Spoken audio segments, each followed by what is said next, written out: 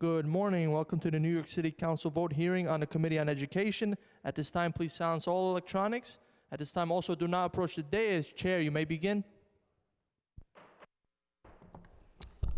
Good morning and welcome everyone to today's Committee on Education vote on Resolution 13 sponsored by myself. A resolution designating the second Friday in March annually as Social and Emotional Learning Day in in City of New York and recognizing the importance of ensuring that pre-kindergarten through 12th grade public school students acquire the social emotional competency needed to succeed to succeed in life. And Resolution 95, sponsored by Councilmember Hanif, a resolution calling upon the New York City Department of Education to consult with faith-based organizations to develop and provide all grades level with a curriculum that focuses on religious diversity to provide professional development focused on religious diversity for teachers, staff, and administrators. To ensure accurate classification of hate crimes in annual school report and immediate notification and full disclosure to parents of hate crime statistics, and to ensure that schools take action to condemn bullying and harassment based on religious clothing, food requirements, and the need for prayer space and time year round. I'm proud to have sponsored Resolution 13 along with 26 of my colleagues. The committee previously heard testimony on the resolution at a hearing on school-based health centers and school-based mental health clinics on April 17, 2024. New York City State Education Department defines social emotional learning as the process through which children, youth, and adults acquire and effectively effectively apply the knowledge, attitude, and skills necessary to understand and manage emotions, set and achieve positive goals. Feel and show empathy for others, establish and maintain positive relationships, and make responsible decisions. Studies show that students receiving SEL instruction have higher academic achievements, better motivation, fewer disruptive behaviors, and less emotional stress. And such instruction results in greater equity among students. Designating SEL Day in New York City Public Schools recognizes the importance of ensuring that pre K through 12th grade public school students acquire the social emotional competency needed to succeed in life. I'm also proud to have signed on as a co-sponsor of Resolution 95, which was heard at a hearing on legislation on June 18, 2023.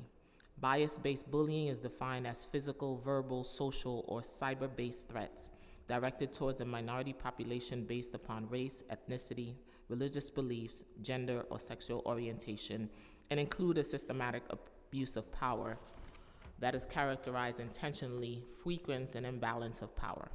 Rate of such bullying has risen since nationwide, and 2019's New York State Comptroller report found significant underreporting of these incidents in New York City public schools. Additionally, research linked bias based bullying to poor academic performance and negative mental and social outcomes, including depression, anxiety. Advocates argue that incorporating lessons on religious bias and inaccuracies in schools can reduce religious based bullying, but teachers often lack the necessary resources to do so. I encourage all of my colleagues to vote yes on both of these important pieces of legislation which aim to enhance socio emotional well being of all New York City public schools. I will now turn to Councilmember Hanif to make a statement. Thank you to Speaker Adams for including Resolution 95 on today's agenda. I also want to thank the 35 sponsors of this resolution, including co-prime sponsor Councilmember Schulman and Education Chair Joseph for their support. This resolution calls on the Department of Education to consult with faith-based organizations to develop and provide all grade levels with a curriculum that focuses on religious diversity.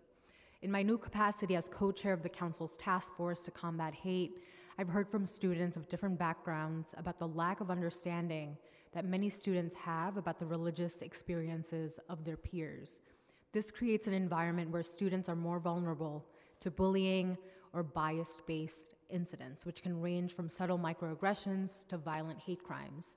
It has been eye opening to learn about the ways in which students have been made to feel either ostracized or unsafe due to the religion that they practice. Over the last year, there have been 367 incidents of religious based bullying, harassment, intimidation, and discrimination in our schools. With the troubling rise of anti Semitic, Islamophobic, and other hate crimes, it is more crucial than ever to cultivate inclusivity and prevent hate through education. Our schools must be nurturing places where young New Yorkers are able to express their full selves without fear. In order to meet this imperative, we must bring a universal religious diversity curriculum to our classrooms. By teaching students about the mosaic of religions that makes New York City such a culturally rich and vibrant place, we can foster mutual understanding, respect, and exchange amongst our next generation.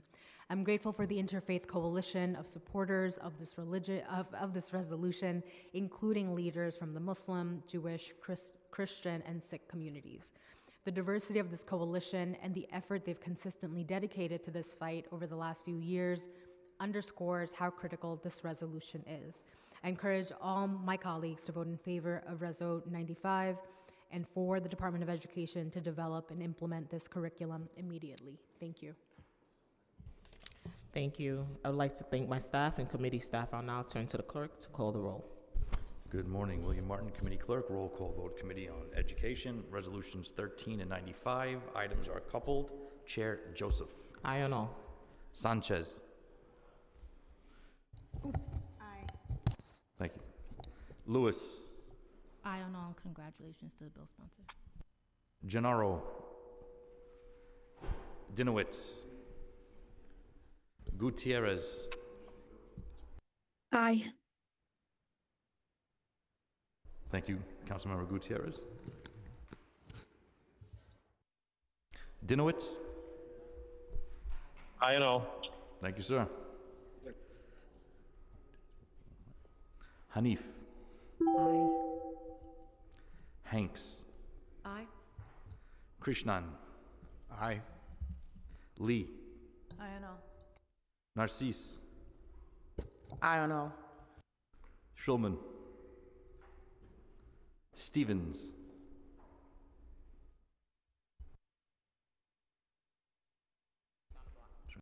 With the vote of 10 in the affirmative, zero in the negative, and no abstentions, both items have been adopted by the committee, and the roll will be held open at request of the chair.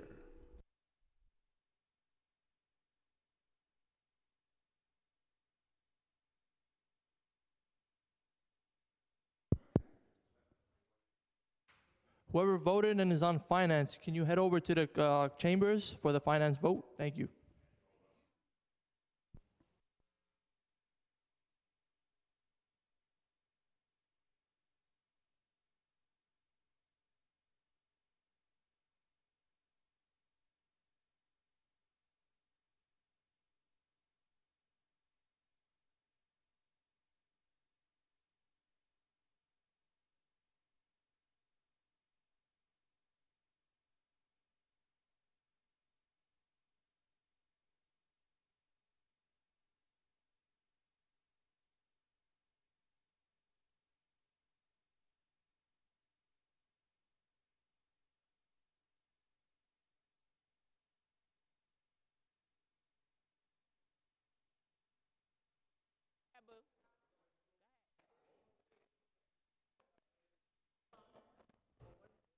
Stepping on people's feet.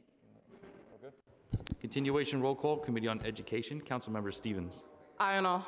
Thank you. The vote is now 11 in the affirmative, zero in the negative, and no abstentions. Close it out.